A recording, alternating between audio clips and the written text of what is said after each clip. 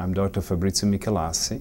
I joined uh, New York Presbyterian Hospital at Weill Cornell Medical Center in 2004 as chairman of the Department of Surgery. I'm a gastrointestinal surgeon and I specialize in the surgical treatment of uh, gastrointestinal cancers such as uh, gastric cancer, pancreatic cancer, colon cancer, rectal cancer, and in the surgical treatment of inflammatory bowel disease such as uh, ulcerative colitis and uh, Crohn's disease.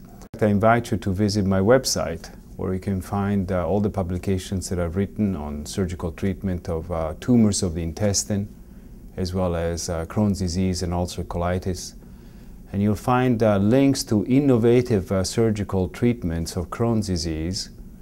I pioneered the stricturoplasty a long time ago.